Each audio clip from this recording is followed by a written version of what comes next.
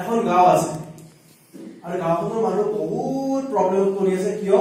খেতি বাতি কৰিছে বহুত দিন হৈছে বৰষুণ নাই। যেতিয়া বৰষুণ অহা নাই তেতিয়া গাঁৱৰ মানুহ এটা বহুত পুৰণা বহুত বয়স হোৱা এজন বুঢ়া মানুহ আছিল।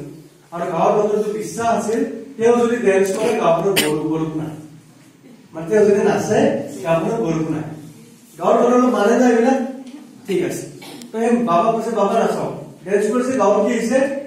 বৰষুণ আহি। গ'ল যেতিয়া বৰষুণ লাগে তেতিয়া কৰি বৰষুণ আহি যায়।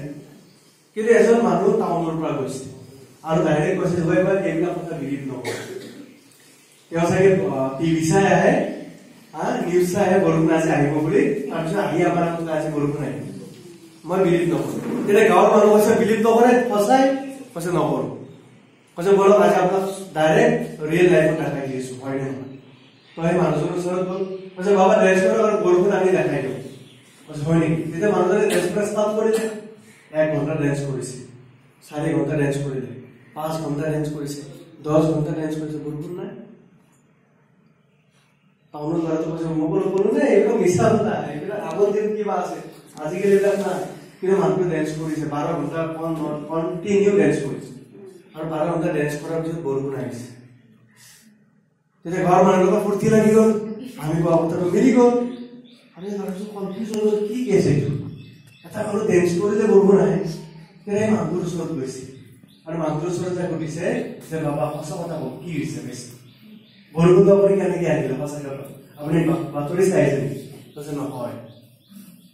তেতিয়া আপুনি কেনেকে বৰষুণ আহিলে কৈছে একদম চিম্পল লাইফত কিবা এটা কাম ছাকচেছফুলি কৰিবৰ কাৰণে দুটা কথা মনত ৰাখিবা। তেতিয়া সি কৈছে কি কথা? কৈছে প্ৰথম কথাটো মোৰ বিলিভ আছে বৰষুণ আহিব। কি কৈছে? মোৰ বিলিভ আছে বৰষুণ আহিব। আৰু ছেকেণ্ড কথাটো কি কৈছে সেইটো শুনিলেতো আপুনি আচৰিত হৈ যাব। আৰু ছেকেণ্ড পইণ্টটো হৈছে যেতিয়ালৈকে বৰষুণ নাহে মই তেতিয়ালৈকে ডেন্সে কৰি থাকিম। তাৰমানে আপুনি বিলিভ কৰিব লাগিব এইটো ইণ্ডাষ্ট্ৰীত আপুনি ছাকচেছফুল হ'ব। আৰু ছেকেণ্ড পইণ্টটো কি?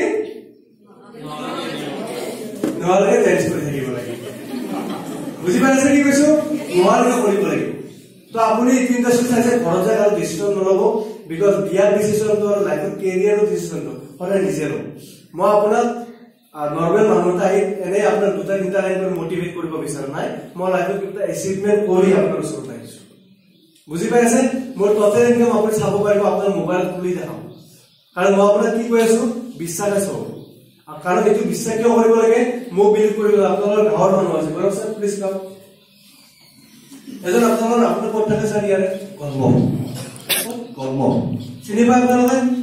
ইয়েছ তো তেখেত আপোনালোকৰ লোকেল মানুহ যোনে ইউনিভাৰ্চিটি ৰুটি কমপ্লিট কৰিছে চব টাইমত